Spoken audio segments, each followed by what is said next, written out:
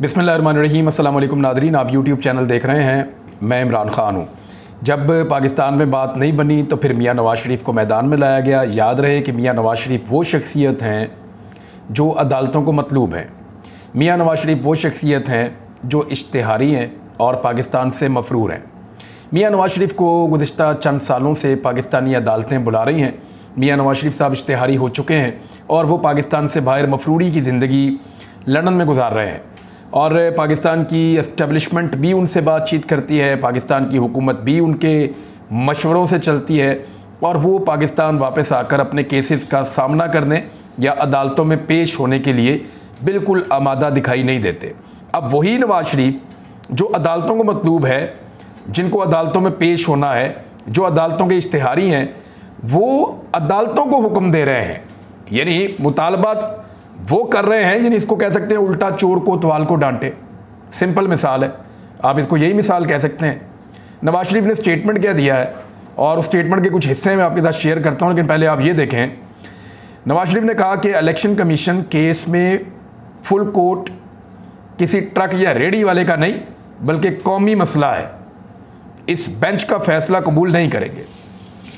Full court का उन्होंने कहा, जी, बनाए। वरना फैसला हम कबूल नहीं करेंगे। नवाज़ शरीफ भी कैलकुलेशन करके बैठे हुए हैं। उन्हें आइडिया है कि कितने जजेस किस तरफ़ होंगे और कितने जजेस किस तरफ़ होंगे।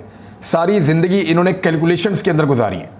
लेकिन मेरी ज़ाती राय में नब्बे दिन में इलेक्शन के आइनी मामले के ऊपर अगर सारे जजेस भी बैठ जाएँगे तो होना तो यही है कि नब्बे रोज़ के अंदर इलेक्शन करवाए जाएँ।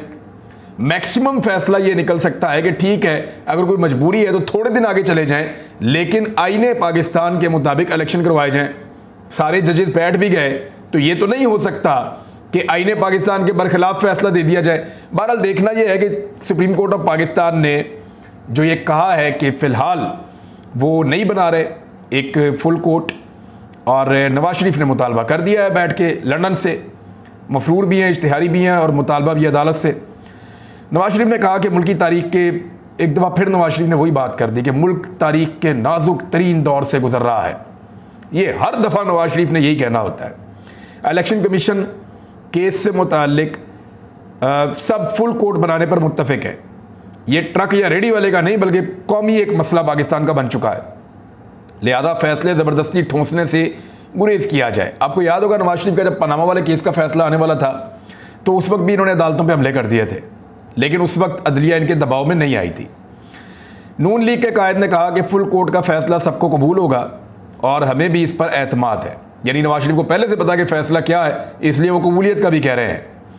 मगर तीन रुकनी बेंच की बातें जो चल रही हैं, इसके पीछे जो अवामिल कार फरमा है, उन्हें कौम समझे।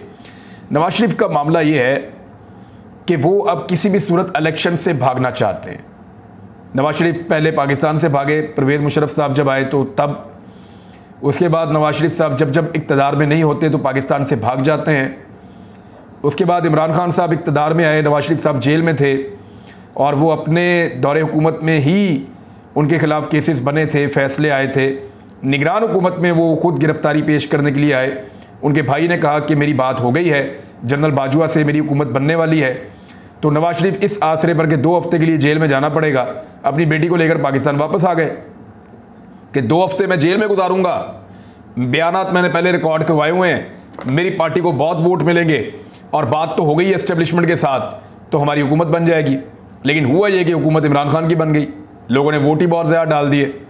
अब वो जो हुकूमत बन गई, उसके बाद नवाज़ शरीफ को जेल में रहना पड़ गया एक साल के लिए। एक साल के बाद नवाज़ शरीफ साहब कभी बाहर, अंदर, कभी अस्पताल, कभी इधर, कभी उधर, वो ये करते रहे। उन्होंने ये टाइम गुजारा वीवीआईपी किस्म का। और उसके बाद निकल कर बरतानिया चले गए। जिस तरह गए, वो सारी दुनिया जानती है। यानी एक मरतबा फिर भाग गए। और अब, जब उन्होंने दो नंबर तरीके से शब खून मार के पाकिस्तान में अपने भाई की हुकूमत बनवाई तो उस वक्त से लेकर अब तक इसलिए बदमजा है कि पाकिस्तान के लोग उनको वोट ही नहीं डालना चाहते। और जब वोट नहीं मिलेंगे तो सियासत कैसे होगी? इलेक्शन कैसे होगा? अब नवाज़ शरीफ एक मरतबा फिर भाग रहे हैं। और भाग किस चीज़ से रहे हैं? इंतबात से भाग रहे हैं। नवाज़ शरीफ ने आज फिर दोबारा गर्दान शुरू कर दी कि 2017 में मुझे क्यों निकाला, मुझे क्यों निकाला। दोबारा वही सारी बातें शुरू कर दी जो वो पहले किया करते थे।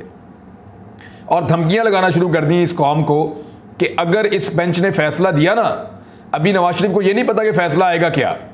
लेकिन अगर बेंच ने फैसला दिया, यानी इलेक्शन का फैसला अगर आ गया तो नवाज़ शरीफ के बकौल डॉलर पाँच सौ रुपए का हो जाएगा। यानी कौम को धमकियाँ लगा रहे हैं, ताजरों को धमकियाँ लगा रहे हैं। और इसहाक डार ने आने के बाद जो डॉलर का बेड़ा गर्क किया है, जो पाकिस्तान की इकोनॉमी को मुकम्मल तौर पे तबाह कर दिया है इसहाक डार ने नवाज़ शरीफ ने अगली रवीद भी सुना दी है। यानी इन्होंने हमेशा ब्लैकमेलिंग की है। पाकिस्तान के इदारों को ब्लैकमेल किया, पाकिस्तान की पब्लिक को ब्लैकमेल किया, पाकिस्तान के लोगों को ब्लैकमेल किया, दूसरे सियासतदानों को ब्लैकमेल किया। अब फिर ब्लैकमेल करने के डॉलर पाँच सौ रुपए का हो जाएगा। मियाँ साहब, आपके मुँह में खाक। डॉलर पाँच सौ का नहीं होना चाहिए। अब मेरे ख्याल में डॉलर को नीचे वापस जाना चाहिए। और डार साहब अगर ज़बरदस्ती अब डॉलर को ऊपर ले जाएँ आपकी ख्वाहिश की तकमील के लिए तो आपका ये जुमला भी याद रहेगा। और मियाँ साहब को ये सोचना चाहिए कि क्या बात नहीं करनी। लेकिन उनका क्या, वो इश्तहारी हैं, मफरूर हैं। वो कोई भी बात कर सकते हैं और हैरत की बात यह है कि पाकिस्तान टेलीविज़न उसको चलाता है। मरियम औरंगज़ेब साहिबा ने जो कुछ कहा, फिर नवाज़ शरीफ ने जिस तरीके से पीटीवी के ऊपर उनको बिठाया गया और बाकी टीवी चैनल्स पे नवाज़ शरीफ को सुनाया गया। और नवाज़ शरीफ ने पाकिस्तान के मुआज़ जज साहिबान के नाम लेकर तोहन की। यानी उनको बाकायदा निशानदेही करके तोहन की है। और अदालतों के फैसलों से पहले ही उन पर असरअंदाज होने की कोशिश की है। मरियम औरंगज़ेब साहिबा के खिलाफ तो कुछ लोगों ने ऐलान भी कर दिया है कि तोहन अदालत का मामला अदालत में लेकर जाएँगे। हो सकता है उनको नाअली का सामना करना पड़े। जबकि मियाँ नवाज़ शरीफ साहब जो हैं, वो अब मैदान में इसलिए उतरे हैं कि बाकी सब थक गए हैं। सबको इस बात का पता चल गया है कि इलेक्शन से भागना अब मुमकिन नहीं रहा। तो जब इलेक्शन से भाग नहीं सकते तो फिर नवाज़ शरीफ को लाना पड़ा, क्योंकि भागने में सबसे ज़्यादा रफ्तार मियाँ नवाज़ शरीफ साहब की अपनी है। अब वो अपनी पार्टी को इलेक्शन से कैसे बचाएँगे और इमरान खान साहब पाकिस्तान को इलेक्शन में कैसे ले जाएँगे? क्योंकि इमरान खान साहब ने जो बात हो रही है ना मुजाकर की उस पर मशरूत आमादगी उन्होंने ज़ाहिर कर दी है। जमान पार्क में इमरान खान साहब ने मुलाकात की सहाफ़ियों से। उन्होंने कहा, पाकिस्तानी फ़ौज मेरी फ़ौज है। और पाकिस्तान सबका है। अदलिया की आज़ादी और आइन पर कोई समझौता नहीं करेंगे। तमाम मसाइल का हल आज़ादाना इलेक्शन से ही मुमकिन है। जमहूरीत के लिए तहरीक इंसाफ हर आखिरी हद तक जाएगी। वकला की तहरीक में पूरी कौम उनके साथ खड़ी होगी। मज़बूत पाकिस्तान के लिए मज़बूत फ़ौज इंतहाई ज़रूरी है। कौमी इदारे और इनकी मजबूती हमारी अव्वलीन तरजीह है। हमारे हज़ारों साथियों को घरों से उठाया गया। गैर कानूनी तौर पर हिरासत में रखा गया। हज़ारों कारकुन कहाँ हैं, किसी को इल्म नहीं है। उन्होंने कहा, मुझे अल्लाह ताला ने नई ज़िंदगी दी है और मुल्क की खिदमत के लिए अता की है। मैं अपनी कौम और मुल्क की हकीकी आज़ादी से कभी पीछे नहीं हटूँगा। तरीके साहब मुजाकर के लिए तैयार है, लेकिन आइन और कानून से हटकर कोई बात नहीं होगी। जो मुजाकर होंगे, आइन और कानून के दायरे में होंगे। और आइन पाकिस्तान कहता है कि असम्बलियाँ तहलील हो जाएँ तो नब्बे रोज़ में इलेक्शन करवाए जाएँगे। यानी इमरान खान साहब कह रहे हैं कि बातचीत मैं करूँगा, लेकिन आइन और कानून के बीच में रहकर करूँगा, आइन और कानून से बाहर नहीं जाऊँगा। और बातचीत सिर्फ़ मुजाकर इलेक्शन के मामले पर और फ्रेमवर्क पर होंगे। बहरहाल, ये इमरान खान साहब ने साफियों से बातचीत करते हुए कहा, और जमाल मंदू खेल साहब का भी आ गया, जस्टिस साहब का, जो इख्तलाफी नोट है, उन्होंने भी कहा कि फुल कोर्ट जो है वो बनना चाहिए। अब, क्योंकि नवाज़ शरीफ साहब का ये मुतालबा है तो ये सबको समझ लेनी चाहिए बात कि पीएमएलएन के और पीडीएम के फ़ायदे के लिए मखसूस बेंच बनाने की एक कोशिश की जा रही है और उसके लिए प्रोपागेंडा किया जा रहा है और चीफ जस्टिस ऑफ़ पाकिस्तान के ऊपर लगातार दबाव बढ़ाया जा रहा है। नवाज़ शरीफ पाकिस्तान के लोगों कह रहे हैं, पाकिस्तान के लोगों, आँखें खोलो, देखो, तुम्हारे साथ मज़ाक रहा है। तो मियाँ साहब, सबसे बड़ा मज़ाक तो ये था कि अरबों रुपए का आपने जवाब नहीं दिया और आप पाकिस्तान से पचास रुपए के स्टाम्प पेपर लेकर अदालत में जमा करवा के आप लंदन जाके बैठ गए और चार साल से आप वापस नहीं आ रहे। पाकिस्तान की कौम के साथ इससे बड़ा कोई मज़ाक हो सकता है? पाकिस्तान की कौम के साथ इससे बड़ा मज़ाक क्या होगा कि तेरह जमातों का इतिहाद में लाके एक चूचू का मुरब्बा लाकर बैठा दिया है, जिसने पाकिस्तान की इकोनॉमी का बेड़ा गर्क करके रख दिया है? कौम के साथ शहबाज शरीफ से बड़ा मज़ाक क्या होगा, जिन्होंने अपने कपड़े बेचकर लोगों को आटा देना था? और वो आटा देने की बजाय आटा जो है वो जाने ले रहा है इंसानों की। इससे बड़ा कौम के साथ मज़ाक क्या होगा? जिस तरह की काबीना आपने बना के रख दी है। पाकिस्तान जो है, वो दिवालिया होता जा रहा है और पाकिस्तान का वज़ीर खारजा, वो एक प्राइवेट जेट के ऊपर, सरकारी प्लेन के ऊपर जो है, वो पूरी दुनिया के दौरे करता फिर रहा है। वो पाकिस्तान वापस ही नहीं आता। इससे बड़ा कौम के साथ मज़ाक क्या होगा कि आसिफ अली जरदारी और नवाज़ शरीफ और फजल रहमान और बाकी जमातों ने मिलकर हुकूमत बना ली है? तो कौम के साथ मियाँ साहब, आप लोगों ने बहुत बड़े बड़े मज़ाक किए हैं। बल्कि आपने तो अपनी पार्टी के साथ भी मज़ाक कर लिया कि अपनी बेटी को उठा के आपने पार्टी की सरबराही दे दी, चीफ ऑर्गेनाइजर भी बना दिया, और उहदे भी सारे दे दिए, और वो जो लोग बेचारे 20-20 साल से 40-40 साल से जूतियाँ घिस रहे हैं इस पार्टी के अंदर, वो हाथ बाँध के उसके सामने खड़े होने पर मजबूर हो गए। तो इससे बड़ा मज़ाक तो मियाँ साहब, आप तो अपनी पार्टी के साथ भी मज़ाक करते हैं, कौम तो फिर भी बहुत दूर की बात है। नवाज़ शरीफ ने और उनकी पार्टी ने एक कंपेन चलाई है चीफ जस्टिस ऑफ़ पाकिस्तान के खिलाफ। कंपेन जो है वो ये है कि 23 करोड़ अवाम का सोमोटो चीफ जस्टिस इस्तीफा दो। क्यों जी? चीफ जस्टिस ऑफ़ पाकिस्तान क्यों इस्तीफा दें? यानी 23 करोड़ अवाम का सो मोटो तेईस करोड़ में से मुझे तो पहले आप निकालें ना एक बार कि तेईस करोड़ में से एक आप कम करें। और मेरी तरह के और भी बहुत सारे होंगे।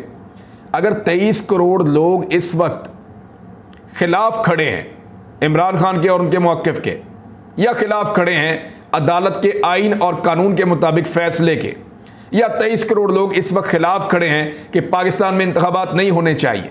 तो भाई, अगर तेईस करोड़ लोग नवाज़ शरीफ और मरियम नवाज़ और पीडीएम के मौकफ के साथ खड़े हैं तो कराओ इलेक्शन। इलेक्शन के अंदर पता चल जाएगा तेईस करोड़ लोग कहाँ खड़े हैं। जितने इलेक्शन हुए हैं, धांधली के ज़रिए एक दो इन्होंने निकाल लिए हैं, बाकी सैंतीस में से तीस इलेक्शन, ये सारी जमातें हारी हैं। इमरान खान अस्सी फ़ीसद से ज़्यादा कामयाबी हासिल कर रहे हैं। पाकिस्तान की टोटल आबादी बाईस तेईस करोड़ है। अब उसके बाईस तेईस करोड़ में से चले, आप अपने ट्वेंटी परसेंट निकाल लें, टेन परसेंट निकाल लें। आप ये कह दें, जनाब, के दो करोड़ या तीन करोड़ लोगों की ये ख्वाहिश है। ये तेईस करोड़ आप कैसे कह सकते हैं? जहाँ पे इलेक्शन होता है, आप इलेक्शन हार जाते हैं। तो इलेक्शन से भागने वाले कभी ये क्लेम नहीं कर सकते कि तेईस करोड़ लोग उनके साथ खड़े हैं और चीफ जस्टिस के खिलाफ उन्होंने सो मोटो लिया है और वो उन्हें इस्तीफे पर मजबूर करें। मरियम नवाज़ ये कंपेन चला रही है चीफ जस्टिस ऑफ़ पाकिस्तान को इस्तीफा देने के लिए। उनका मीडिया सेल है। यानी वो नज़र आ रहा है ना, जिनको फॉलो किया हुआ है, वही लोग ये कर रहे हैं और लगातार करते चले जा रहे हैं। बहरहाल, सैकड़ों सोशल मीडिया के लोगों को भी उठाया गया और, कुछ बहुत ताकतवर हल्के उन लोगों को उठा रहे थे। क्योंकि ये बात मैंने भी बड़ी ओपनली डिस्कस की थी पहले भी, और ये बात की भी थी कि पाकिस्तान तहरीक इंसाफ के जो ट्रेंड बनते हैं ना, या जो कंपेन चलती है उनकी सोशल मीडिया के ऊपर, वो कोई ऑर्गेनाइज्ड कंपेन नहीं होती। बहुत सारे इदारों को, बहुत सारे लोगों को ऐसा लगता है कि पाकिस्तान तरीके इंसाफ के सोशल मीडिया को कंट्रोल किया जाता है। ये आम आदमी है, पूरी दुनिया के अंदर बैठे हुए हैं। अमेरिका, बरतानिया, यूरोप के मुल्कों में, गल्फ़ में, और दीगर दुनिया के अंदर, पाकिस्तान के अंदर बेशुमार। ये लोग पूरी दुनिया के अंदर बैठे हुए हैं पाकिस्तानी। और पाकिस्तान के अंदर तो बहुत बड़ी तादाद में यानी इनकी अगर मैं कहूँ कि सेवेंटी, एटी परसेंट पाकिस्तान में है तो ये गलत नहीं होगा। तो ये बहुत बड़ी तादाद में पाकिस्तानी अपनी सोच के मुताबिक, अपनी दलील से कायल होने के बाद और अपने फहम के मुताबिक सोशल मीडिया पे अपना एक मौक़ बनाते हैं। बाज़ात पाकिस्तान तहरीक इंसाफ क्योंकि मैं ज़ाती तौर पे जानता हूँ, मैंने इसको बहुत स्टडी किया है। शुरू में मुझे ऐसा लगा कि शायद पाकिस्तान तहरीक इंसाफ के कुछ लोग जो हैं, वो मुमकिन तौर पर हो सकता है कि वो सोशल मीडिया को गाइड करते होंगे, इस तरफ़ चलो या इस तरफ़ चलो। लेकिन मैंने बाद में महसूस किया कि पाकिस्तान तहरीक इंसाफ के लोगों को सोशल मीडिया गाइड करता है। यानी तहरीक इंसाफ सोशल मीडिया को कंट्रोल नहीं करती। मुझे बाद ऐसा लगता है कि जो सोशल मीडिया के ऊपर अवामी रिएक्शन है और अवामी सोच है, वो पाकिस्तान तहरीक इंसाफ के ऊपर असरअंदाज होती है। और तहरीक इंसाफ को वो कुछ हद तक कंट्रोल करती है। यानी मुझे पाकिस्तान तहरीक इंसाफ के कई लोगों ने कहा कि भाई सोशल मीडिया के ऊपर हमारी बैंड बच जाती है, अगर हमारा मौक़ ढीला हो जाए, हम किसी और तरफ़ चले जाएँ तो। तो हमें पब्लिक ओपिनियन का बहुत ख्याल करना पड़ता है और वो सोशल मीडिया के ऊपर हमें मिल जाती है। ये बात कुछ हद तक इमरान खान साहब भी दूसरे अल्फाज में कहते रहे हैं बाकी लोग भी। अभी अदर मशवानी को उठाया गया। कुछ और सोशल मीडिया के जो एक्टिविस्ट हैं, उनको उठाया गया। और इदारों ने पूरी तसल्ली की है। मैं जानता हूँ कि इदारों ने क्या क्या किया है। मेरे पास पूरी इंफॉर्मेशन है। इदारों ने पूरी तसल्ली की है, हर तरह के टेस्ट किए हैं, हर तरह की चीज़ें चेक की हैं, उनकी डिवाइसेस चेक की हैं, हर चीज़ को खोल कर देखा है। वो जिन अकाउंटों से उनको बहुत प्रॉब्लम है, उनके साथ जोड़कर देखा है तो उनको आइडिया हुआ कि नहीं। उनका ख्याल गलत था। इदारों की पूरी तसल्ली हो चुकी है कि ये पीएमएलएन का मीडिया सेल नहीं है। देखें पीपल्स पार्टी का मीडिया सेल पीएमएलएन का मीडिया सेल अव्वल तो ये है ही नहीं। और अगर थोड़े बहुत हैं तो ये पेड लोग हैं। इनको पैसे देकर वो चलाते हैं और घुमाते हैं और उनसे काम करवाते हैं। दो जमातें पाकिस्तान में ऐसी हैं, जिनके सोशल मीडिया के सेल बिल्कुल इंडिपेंडेंटली चलते हैं और वो खुद ऑर्गेनिक तरीके से आगे मूव करते हैं। मिसाल के तौर पे अदर मशवानी गिरफ़्तार पाकिस्तान तरीके इंसाफ के दीगर सोशल मीडिया के जो मेन एक्टिविस्ट हैं, वो सारे गिरफ़्तार तो आप ट्रेंड्स चेक कर लें। अभी जब मैं वीडियो रिकॉर्ड कर रहा था, उसे कुछ देर पहले हमने एक स्क्रीनशॉट लिया था जो ट्रेंड्स चल रहे थे उनमें ये है, अदालतों को धमकाना बंद करो। अब ये अदरम शिवानी तो गिरफ़्तार है, कौन चला रहा है? और बाकी इसके साथ ही गिरफ़्तार है, कौन चलवा रहा था? और nation stand with chief justice of Pakistan ये ट्रेंड कौन चला रहा है? नो कमेंट ज़ीरो रीच ये ट्रेंड कौन चला रहा है? ये एक और चला है कि जी, जो पीएमएलएन के अकाउंट्स हैं, उनको पीटीआई वालों को लगता है कि उनको रीट्वीट नहीं करना चाहिए या उनके ऊपर कमेंट नहीं करना चाहिए। स्क्रीनशॉट लेकर कमेंट करना चाहिए। इससे उनकी रीच कम हो जाएगी और इससे उनका प्रोपेगेंडा बिल्कुल डाउन हो जाएगा। वैसे ये बात तो ठीक है, काफ़ी हद तक जो प्रोपेगेंडा उसको फैलाने में पीटीआई के लोग खुद मददगार साबित हो जाते हैं जब वो ज़्यादा कमेंट वगैरह करते हैं। फिर अगला जो है ट्रेंड चल रहा है वो रिज़ाइन ये ये ये चल रहा है पीएमएलएन का एक ट्रेंड कि रिज़ाइन के हवाले से ये चीफ जस्टिस का आना चाहिए नहीं। हौसले का पहाड़ इमरान खान। ये भी एक ट्रेंड चल रहा है। इस वक्त चेक कर लेते हैं कि पाकिस्तान में कौन से ट्रेंड्स चल रहे हैं, क्योंकि जो सोशल मीडिया के एक्टिविस्ट हैं, जब उनको गिरफ़्तार किया गया तो कैसे हो सकता है कि वो सोशल मीडिया के एक्टिविस्ट की गिरफ्तारी के दौरान फिर ट्रेंड बन रहे हों और वो उसी तरह के बन रहे हों, जो इमरान खान को या पीटीआई को सपोर्ट करते हैं, या जो गिले और शिकवे करते हैं। क्योंकि देखिए, इदारों को ऐसा लगता था कि ये जो लोग गिले और शिकवे कर रहे हैं ये जो लोग रोला डाल रहे हैं पाकिस्तान में, इनके पीछे कुछ शख्सियात हैं और वो इसको मैनेज करके सोशल मीडिया पे ट्रेंडिंग करते हैं। लेकिन अब उन्हें आइडिया हो जाना चाहिए और हो गया होगा, क्योंकि उन्होंने पूरी तसली की है कि ये ट्रेंड ऐसे नहीं बनते, ये ऑर्गेनिक है। ये लोगों के दिल की आवाज़ है, उनके अपने गिले शिकवे हैं, वो इसके ऊपर खुद बात करते हैं लोग। अब आप इस बात के ऊपर आ जाएँ कि किन के ट्रेंड जो हैं, वो मुझे ऐसा लगता है कि तरीके लबैक के और पाकिस्तान तरीके इंसाफ के। आपको पसंद है या नहीं पसंद? ये ऑर्गेनिक ट्रेंड्स होते हैं, मुझे ऐसा लगता है। और मैंने क्योंकि तरीके लबैक के मैंने स्ट्रक्चर को देखा नहीं है, लेकिन मैंने ये नोट किया है कि ख़ास तौर पे जब ख़त्म नबूत की बात आ जाए, या मज़हब की बात आ जाए, या कुर्बानी की बात आ जाए तो उसमें मैंने देखा कि तहरीक लबैक के जो ट्रेंड्स बनते हैं, वो बड़े क्लियरली वन साइडली चलते हैं और उनको किसी को हैंडल करने की ज़रूरत नहीं है, सब पाकिस्तान उसका हिस्सा बन जाता है। तो वो बड़े ऑर्गेनिक चलते हैं। दूसरे पाकिस्तान तरीके इंसाफ के हैं, वो आम लोगों की आवाज़ है बड़े ऑर्गेनिक तरीके से वो ट्रेंड्स चलते हैं। आखिर में नाजरीन एक छोटी सी खबर मैं आपके साथ शेयर कर देता हूँ कि इसराइल के साथ पाकिस्तान ने तजारत की है। हम इंतज़ार करेंगे, क्योंकि तफसीत मेरे पास खबर की मौजूद हैं, लेकिन इंतज़ार ये करेंगे कि हुकूमत इसके ऊपर क्या मौक़ देती है, क्या बाकायदा पाकिस्तान इसराइल के साथ तजारत को आगे बढ़ाना चाहता है क्या ये पाकिस्तान की पॉलिसी है? फजल रहमान साहब ख़ास तौर पे मैं चाहूँगा कि वो इस पर ज़रूर स्टेटमेंट दें, क्योंकि वे इमरान खान को एजेंट करार देते रहे हैं। अब तक इतना ही, अपना ख्याल रखिएगा अपने चैनल का भी। अल्लाह हाफ़